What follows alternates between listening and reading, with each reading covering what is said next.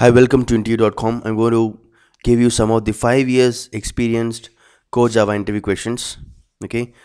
First question will be Does polymorphism applic- applicable for static methods? Here I'm, I've given example superclass as a method, public static void method, and subclass extends superclass as also a similar method.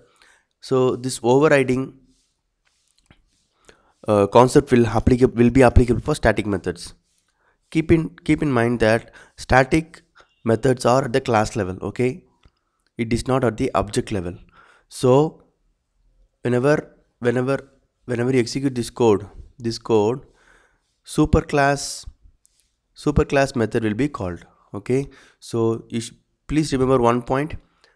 Over you can't override static methods okay? Polymorphism will not be applicable for static variable or static method. Whatever it is polymorphism is not applicable for static entities okay?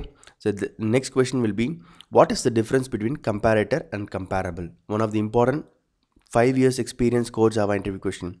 How hash map works? You should internally you should talk about the internals of how hash map works. About the bucket about the hash code okay? Then you, you might be asked to write Java code to iterate the hash map or simple programming.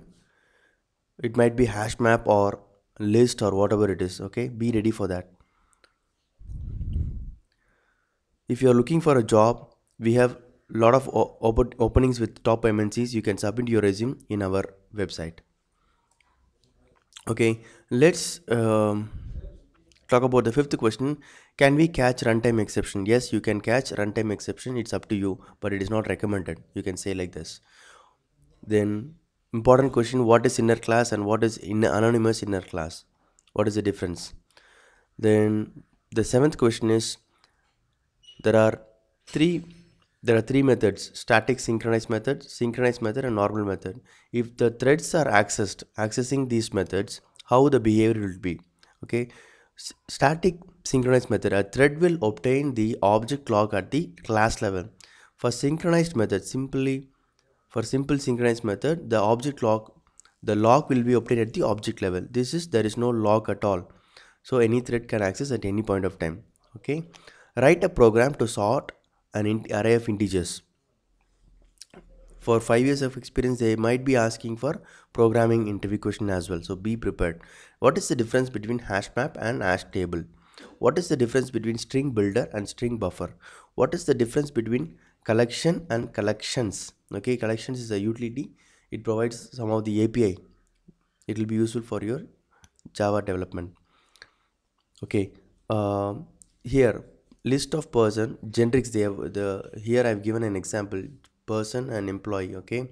So will it compile? You should say that it will not compile it will throw an error because this person and this employee uh, will not be applicable. Maybe mm, but whereas list and array list uh, initializing a subtype to a superclass will applicable for this thing but generics it will not be applicable okay?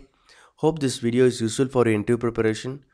You can submit your resume in our job portal. We have top we have openings in top mncs we will we will upload we will uh, forward your resumes to the appropriate employer okay based on your skill set. So please upload your resume and see a great career change.